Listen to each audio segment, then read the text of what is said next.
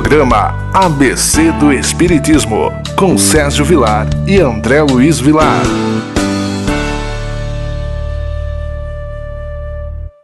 Queridos amigos, programa ABC do Espiritismo, mais uma vez entrando na sua casa, pela nossa querida e amada TV Mundo Maior.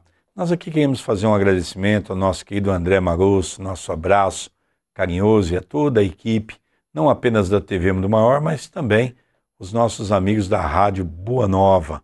E o nosso abraço carinhoso a você, o nosso telespectador que sempre está ouvindo o nosso programa, temos uma audiência grande, recebemos um feedback muito grande com referência aos nossos programas.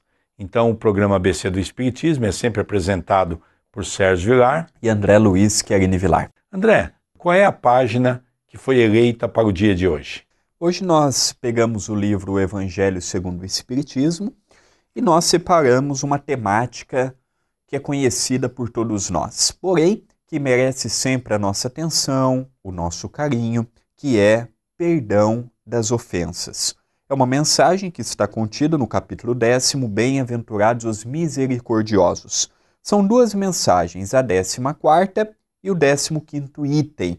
Uma ditada por Simeão, na cidade de Bordeaux, em 1862.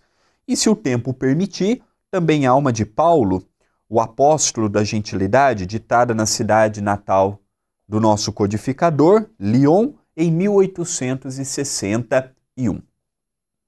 Começa Simeão nos narrando: Quantas vezes perdoarei a meu irmão? Perdoá-lo-eis não sete vezes, mas setenta vezes sete. Eis um desses ensinos de Jesus que devem calar em vossa inteligência e falar bem alto ao vosso coração. Comparai essas palavras misericordiosas com a oração tão simples, tão resumida e ao mesmo tempo tão grande nas suas aspirações que Jesus ensinou aos discípulos e encontrareis sempre o mesmo pensamento. Jesus, o justo por excelência, responde a Pedro: Perdoarás, mas sem limites. Perdoarás cada ofensa, tantas vezes quantas ela vos for feita. Ensinarás a teus irmãos esse esquecimento de si mesmo que nos torna invulneráveis às agressões, aos maus tratos e às injúrias. Serás doce e humilde de coração, não medindo jamais a mansuetude, e farás, enfim, para os outros o que desejas, o que o Pai Celeste faça por ti. Não tem ele de te perdoar sempre? E acaso conta o número de vezes que o seu perdão vem apagar as tuas faltas? Ouvi, pois, essa resposta de Jesus, e como Pedro, aplicai-a a vós mesmos. Perdoai, usai a indulgência, sede caridosos, generosos e até mesmo pródigos no vosso amor. Daí, porque o Senhor vos dará. Abaixai-vos, que o Senhor vos levantará. Humilhai-vos, que o Senhor vos fará sentar à sua direita. De tudo aquilo que nós estudamos da obra kardeciana, e muitos chamam de obra espírita ou obra kardecista, eu vejo que algumas pessoas se apegam muito às palavras, dizendo isso está certo, isso está errado. Mas o mais importante que eu vejo dessa obra é que entre as grandes dificuldades que o homem enfrenta na Terra, eu poderia dizer que a maior dificuldade que nós temos no século XXI é com referência ao perdão. É interessante que num outro momento Jesus estava na sinagoga, sentado com os seus discípulos, e de repente Jesus viu aquela movimentação toda. E Jesus disse algo muito interessante aos discípulos. Porque percebeu que as pessoas estavam indo até o gasofilácio, depositavam as coisas. Então Jesus diz que antes de nós depositarmos alguma coisa no altar do Senhor, ou seja, as oferendas que nós damos para as igrejas, que nós deveríamos retornar, que nós deveríamos recompor com os nossos inimigos, com os nossos adversários, perdoando-os, e depois que nós pudéssemos, com o coração limpo, retornar para a casa do Senhor e fazer as nossas oferendas pelo coração. Isso é muito interessante, porque há dois mil anos atrás, Jesus já enfatizava essa questão. E era uma questão tão séria naquela época, porque o Velho Testamento, que era muito seguido, ele tem uma das suas normativas que diz: olho por olho, dente por dente, que é uma lei chamada Lei de Tarião, que incentiva as pessoas a serem violentas de acordo com que você recebe um grau de violência. Então nós começamos a perceber que o perdão é alguma coisa que sempre existiu. Pedro, então, como menciona a mensagem, pergunta: Senhor, quantas vezes eu devo perdoar? Até sete. Então, logicamente, Pedro foi enfático. Olha, Senhor, tem coisa aqui que não dá. Eu perdoo uma vez, duas vezes, três vezes. Então Pedro exagera um pouco e diz: pode ser até sete. E Jesus, já mostrando um ensinamento mais grandioso, diz: não, Pedro, é setenta vezes sete. Ou seja, nós vamos perdoar aquela condição toda. E aqui, André, nós vamos relembrar que Chico Xavier uma vez estava diante de uma senhora que tinha uma fotografia na mão. E ela mostrou para o Chico e falou: Chico, eu vou me separar. E o Chico falou: Por quê, minha irmã? Ah, esse homem me trai. Mas o que, que ele faz? Ah, ele é padeiro, trabalha a noite toda. Então o Chico perguntou: Durante o dia, ele. Durante o dia ele dorme? Sim. Aí ela diz assim: Mas eu vou separar dele, Chico. Eu já não aguento mais. E o Chico diz: Não, minha irmã, Jesus nos ensinou a perdoar 70 vezes 7. Então ela fez um cálculo e chegou no número de 490. Ah, então eu vou ter que perdoar 490 vezes? Sim. Ah, Chico, então você agora me deu a solução. Chico diz: é? Ela diz: é. Eu vou me separar. Mas por quê? E aí o Chico ficou preocupado. Falou: Emmanuel, eu estou, eu, eu estou separando esse casal. E ela diz assim: Eu vou me separar porque eu já perdoei mais de 490 vezes. Aí Emmanuel se aproximou do Chico e diz assim: Chico, diz para nossa irmã que é 490 vezes cada tipo de ofensa. E aí então ela olhou para o Chico, deu um suspiro e diz assim: Ai, Chico, que bom essa orientação. Então já sei que vou vir com ele mais umas três ou quatro reencarnações. Né? Então isso é realmente a maneira pela qual a gente vê a coisa, né, André Luiz? Sem sombra de dúvida. Tudo vai do modo que nós encaramos, do modo que nós lidamos. Nós sabemos muito bem que o próprio Chico dizia que a maior dificuldade do homem e da mulher, é evidente, quando nós falamos do homem, não é apenas no sentido machista, é para generalizar englobar toda uma ideia, mas a maior dificuldade do ser humano é o relacionamento. Se é uma luta eu relacionar comigo mesmo, aceitando quem eu sou, aceitando as circunstâncias que eu estou, aceitando o corpo que eu tenho. Imagine eu aceitar uma pessoa que pensa diferente do que eu penso, que age diferente do que eu ajo, que tem comportamentos diferentes dos que eu tenho. Então é muito difícil. Os relacionamentos, seja em que grau de parentesco for, de proximidade for, não apenas no campo conjugal, não apenas no campo familiar, mas também no campo profissional, no campo religioso, no campo de cidadãos comuns, em que nós nos relacionamos com os outros, em que dependemos dos outros, os outros dependem de nós, e por vivermos numa época tão agitada, tudo é para ontem, nós, vemos, nós vemos o nervosismo, nós vemos a pressa, nós vemos a correria fazendo parte do dia a dia do ser humano. E isso vai nos deixando com uma carga de estresse muito grande, um nervosismo muito grande. Então, o perdão ele ainda não é para a nossa época, Porque muitas vezes eu digo assim: eu perdoei, eu te perdoo, mas é aquele perdão da boca para fora. Eu perdoo, mas geralmente eu relembro o que a pessoa fez para comigo, geralmente eu fico remoendo aquele sentimento, aquele desgaste. Na primeira oportunidade eu taco na cara, na primeira oportunidade eu lembro o, o ocorrido. Então isso não é perdoar. Nós ainda não estamos na condição de, de perdoar ninguém e nem de nos auto-perdoar. Ainda não estamos nessa condição. Nós estamos em condição de tentar, em primeiro lugar, compreender o que é o perdão, para depois praticá-lo. Não adianta eu me enganar, ah, eu perdoei Fulano. Ah, eu perdoei o que foi feito para comigo. Tem pessoas que carregam aquela dificuldade há 20, 30, 40 anos. E é muito simples nós chegarmos para essa pessoa e falar assim: perdoe. Não é simples assim. Ah, esqueça. Se fosse desse modo, quantos problemas não seriam evitados do dia para a noite? E não é questão da pessoa ter vontade ou não. Não é questão da pessoa ter fé ou não.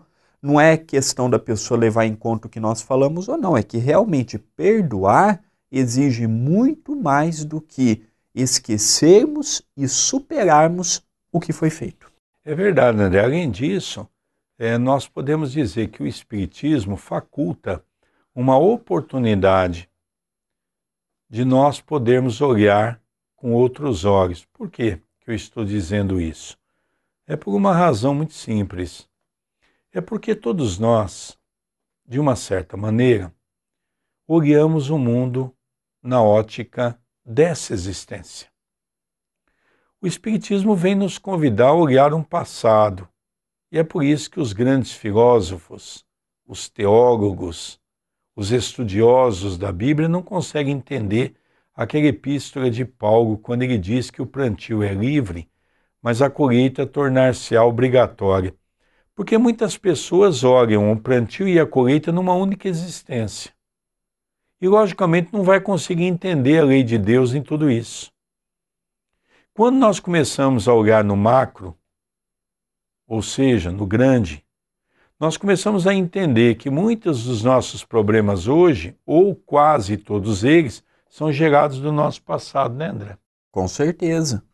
Muitos do passado, outros pela persistência no agora, em vermos que não está dando certo, mas continuamos alimentando aqueles mesmos pensamentos ultrapassados. Ser espírita é abrir a mente. Nós não podemos ficar parado no tempo e no espaço. É evidente que ninguém vai se transformar do dia para a noite, mas está na hora também de nós começarmos a dar uma impulsão maior na nossa evolução e passarmos a ver coisas que antes não víamos e darmos importâncias para coisas que ontem não dávamos. Queridos amigos, nós vamos para um breve intervalo com o programa ABC do Espiritismo, apresentado por Sérgio Vilar e André Luiz Querini Vilar. E já nós retornaremos com o segundo bloco, dando continuidade na questão do perdão. Não sai daí, não.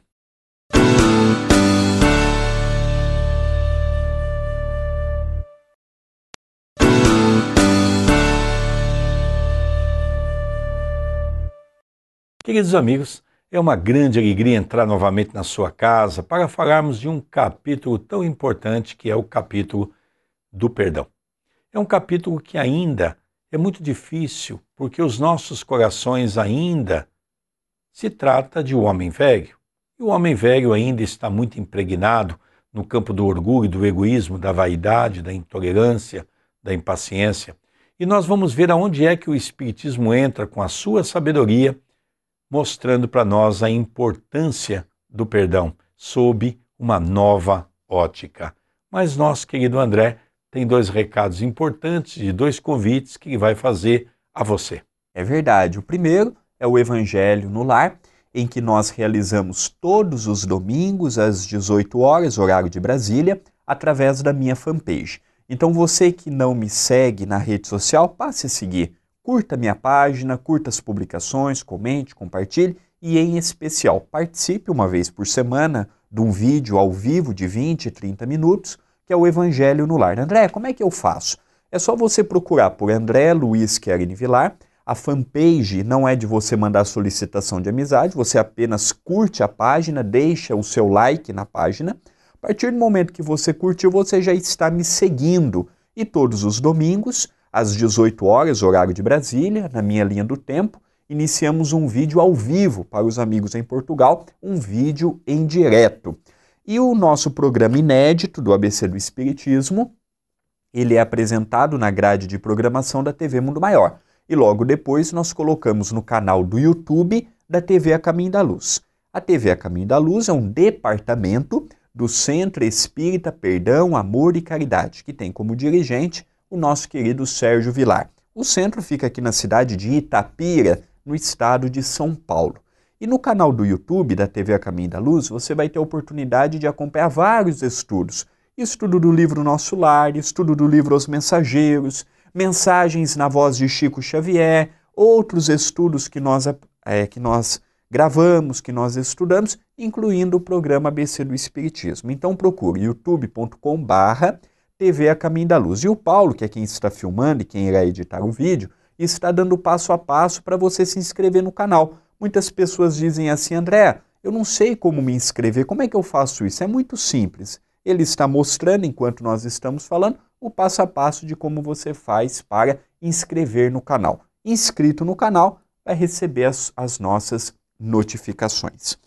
Dando continuidade, o Espírito Amigo continua nos dizendo: Ide, meus bem-amados, estudai e comentai essas palavras que vos dirijo, de parte daquele que, do alto dos esplendores celestes, tem sempre os olhos voltados para vós e continua com amor a tarefa ingrata que começou há 18 séculos.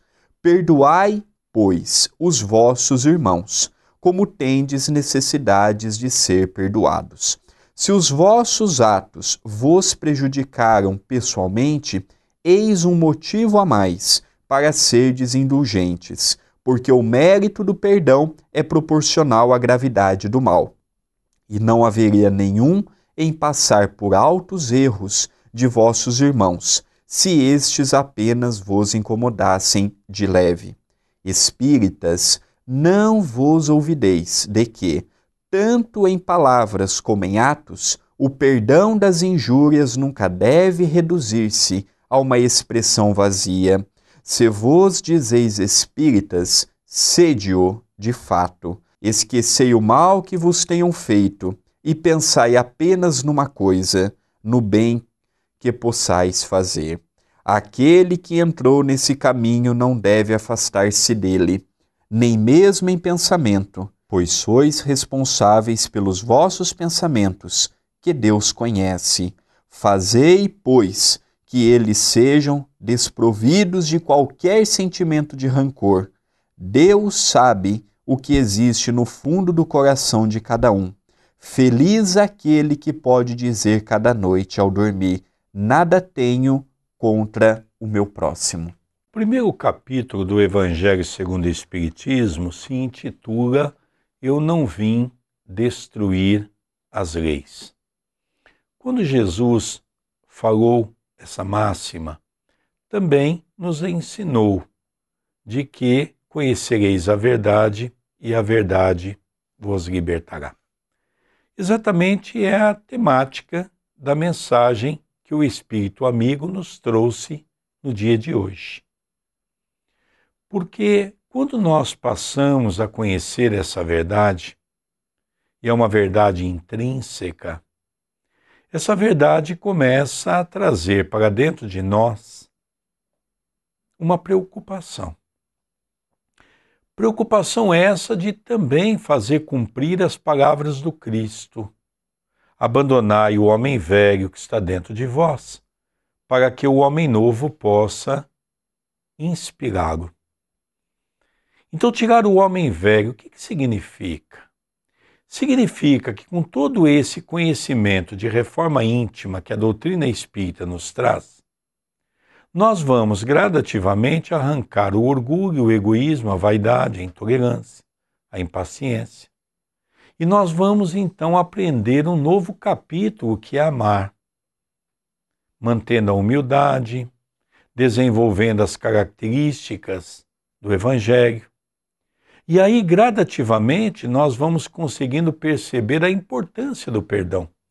Há uma mensagem no Evangelho de Irmã Rosária que ela diz uma coisa: se você ainda não consegue perdoar aquele que te ofendeu, se quando ele chega perto de você você ainda estremece, de tal a gravidade do ato e do fato, que você possa, pelo menos, não vibrar na mesma intensidade, que você possa fazer uma prece a prece é um mecanismo de preparação para a nossa alma para que um dia possamos nos aproximar.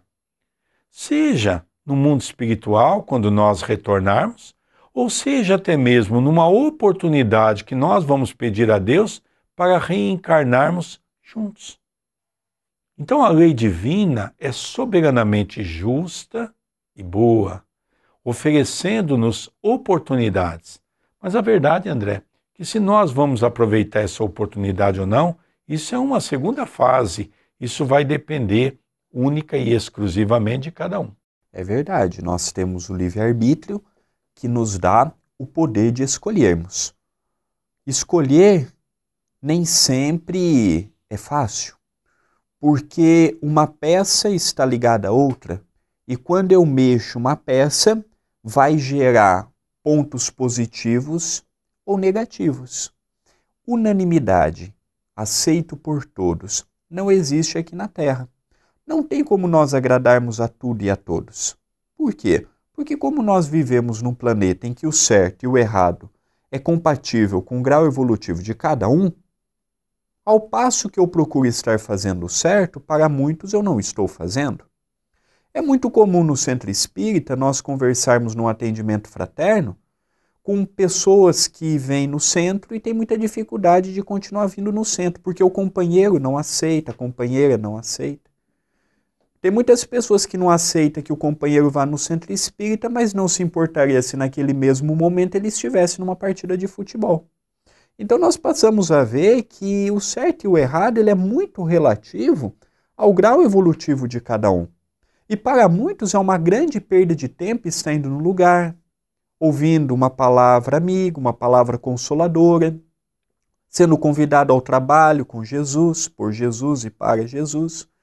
Por isso que tudo fica muito difícil. Então nós temos que estar preocupados com o seguinte: já que o que eu vou fazer vai gerar uma repercussão, em alguns corações positivos e alguns corações negativos, que eu possa estar em paz com a minha consciência. O certo não é amar? Eu vou amar. O certo não é eu procurar lentamente e gradativamente ir esquecendo as dificuldades que eu cometi? Vou começar. E quando eu puder dormir à noite, eu estar com a minha consciência tranquila que eu fiz tudo o que eu podia. E é verdade, André, porque a gente percebe que realmente é um tema muito interessante. Por exemplo, eu tenho dito em uma das minhas palestras, com referência, por exemplo, à questão do perdão, eu falo, por exemplo, daquele caso que nós sabemos hoje, pela própria ciência, que todos nós temos no nosso corpo o chamado células cancerígenas. E é interessante que a ciência, através de um estudo profundo nos Estados Unidos, estudando profundamente a temática de algumas pessoas que estavam tendo câncer, sem nenhum motivo aparente, sem ter ninguém na família que pudesse justificar, começou a estudar e percebeu que algumas pessoas estavam tendo câncer e essas pessoas contraíram o câncer depois de ter tido uma mágoa. E essa mágoa que criou dentro de si um ódio por alguém, por alguma coisa que lhe foi feito, seja por um familiar, seja por um estranho, aquela mágoa, aquele ódio, aquele rancor desestabilizou de tal maneira o seu cérebro que ele fez ativar as células cancerígenas. E muitos deles, quando se depararam com a célula cancerígena, também foi dividido em dois grupos. Um grupo daqueles mais otimistas que aceitaram a doença e diz: "Não, eu vou sobreviver mais" e passaram a mudar a sua condição de vida, vivendo um tempo maior, e aqueles que entraram no campo do negativismo e tiveram um desencarne com pouco tempo. O que eu quero dizer com isso?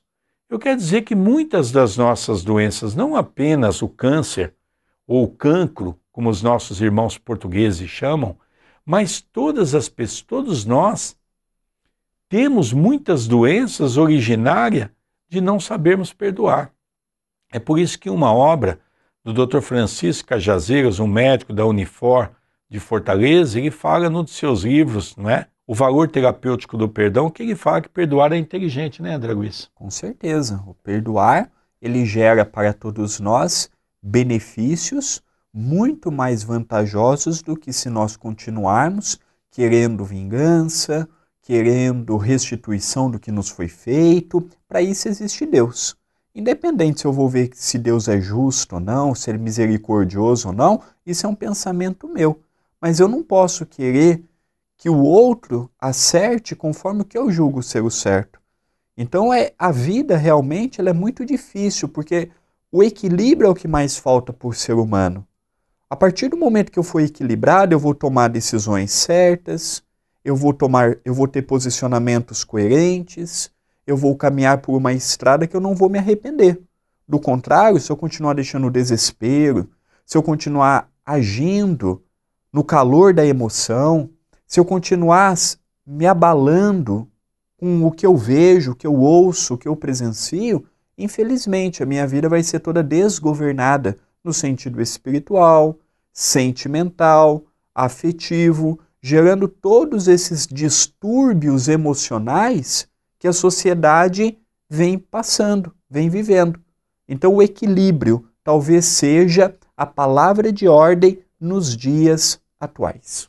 É verdade, André, você definiu de uma maneira belíssima essa questão, porque realmente o perdão é um grande desafio. E é uma questão de inteligência. Concordo com o Dr. Francisco. Porque quando eu trago essa mágoa para dentro de mim, estou prejudicando a mim mesmo. Então eu preciso aprender a libertar desses momentos e dessas amarras. Queridos amigos, vamos encerrando o programa ABC do Espiritismo, que entra toda semana na sua casa, levando sempre uma mensagem de amor. Esse programa apresentado por Sérgio Vilar e por André Luiz Querini Vilar. Te agradeço pela grande audiência, que Jesus nos abençoe, nos proteja e até a semana que vem. Um grande beijo em seus corações.